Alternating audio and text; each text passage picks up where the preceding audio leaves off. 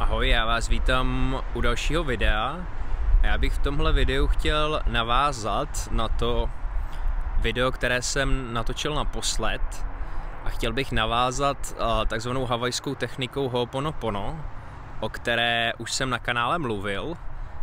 A podle mě ta technika Ho'oponopono je skvělá v tom, že ona přesně se týká toho tématu z minulého videa, což je vlastně oproštění se od nějaké minulosti a vidění toho světa novýma očima.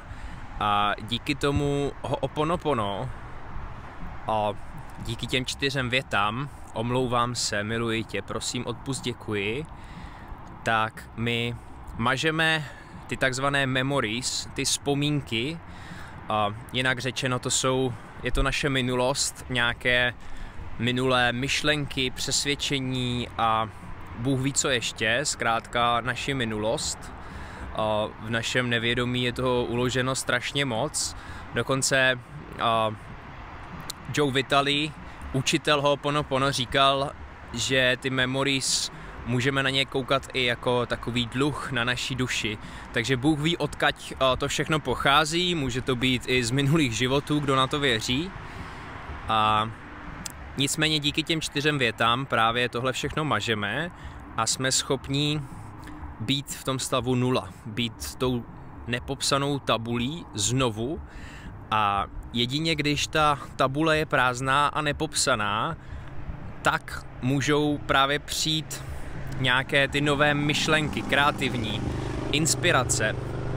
Nebo včera v minulém videu jsem hovořil o intuici. Takže k tomuhle všemu je prostor ve chvíli, kdy my jsme takzvaně vyprázdnění, kdy my jsme oproštěni od té minulosti. A takže tahle technika těmahle čtyřma větama jde, řekněme, přímo k věci a, a proto mi přijde tak zajímavá. A, a Učitelé jako Joe Vitali tak mluvili o tom, že ten stav na nule je vlastně náš přirozený stav a je dobré se do něho vracet a, a opravdu nepěstovat ten stav těch vzpomínek a snažit se naopak mačkat a, mačkat to delete, jako máme na klávesnici a to mačkání delete právě děláme skrze tyhle čtyři věty. On má i nějaké jiné techniky popsané v té knize, je to třeba pití uh, nabité slunečné vody a tak dále, ale uh, řekněme, ta hlavní myšlenka jsou tyhle čtyři věty. Takže je to opravdu jednoduchá technika a myslím si, že uh, právě ta jednoduchost je, je na tom krásná a z, mý, z mojí vlastní zkušenosti můžu říct, že když jsem praktikoval tyhle čtyři věty, tak uh, řekl bych, že jsem určitě uh, měl kreativnější období, že opravdu ke mně proudila, proudily nějaké nové myšlenky, inspirace a, a viděl jsem ten svět trošku jinak. Takže to je i taková moje pozvánka k tomu si to zkusit. Uh, nic to nestojí a je to opravdu jednoduché, jenom opakovat tyhle čtyři věty miluji tě, omlouvám se, prosím, odpust, děkuji. A je dokonce jedno v jakém pořadí, to není to zásadní. A, a ty učitelé říkají, že to ani nemusíme nějak procitovat, i když když ty věty budeme procitovat, tak to určitě není ke škodě.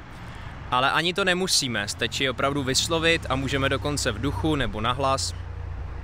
To je na nás.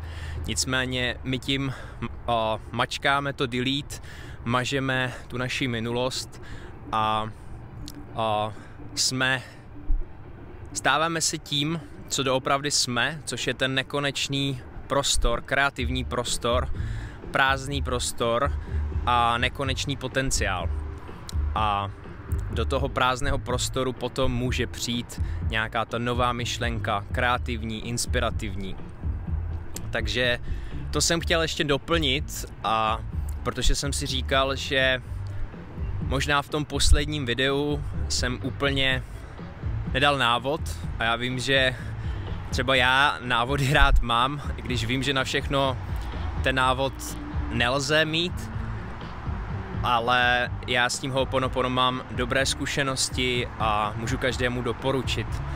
A já budu končit v tomhle videu, koukám, že za mnou je nějaká diskotéka, tak aby ještě něco bylo slyšet a u dalšího videa ahoj.